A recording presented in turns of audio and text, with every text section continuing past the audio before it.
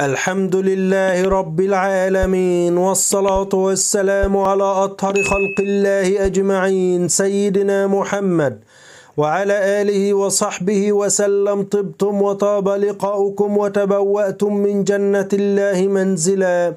بإذن الله تبارك وتعالى هذا اللقاء عن تفسير رؤية الرمان الأسود في المنام.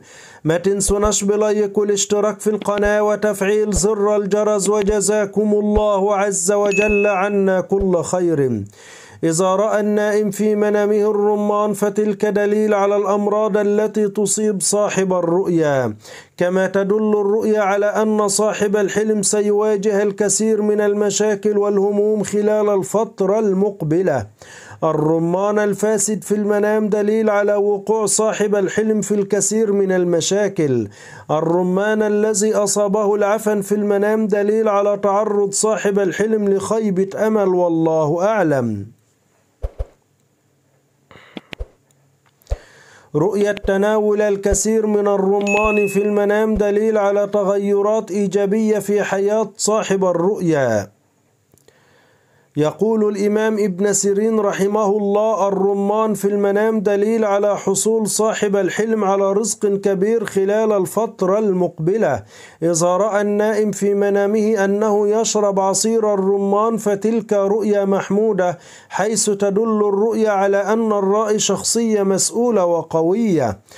وتشير تلك الرؤيا إلى أن صاحب الحلم شخصا قادر على التصرف بحكمة وتعقل وهو شخصية مسؤولة يتخذ قراراته بنفسه.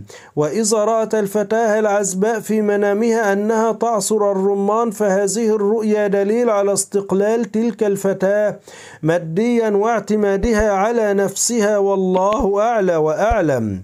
إذا رأى النائم في منامه شجرة الرمان فهذا دليل مح دلالة محمودة حيث تدل الرؤيا على أن صاحب الحلم شخصا متزن عقليا وفعليا. كما تدل الرؤيا على أن شخصا يقوم بكل العبادات ويفعل كل الطقوس الدينية وفي الوقت ذاته يعيش حياته.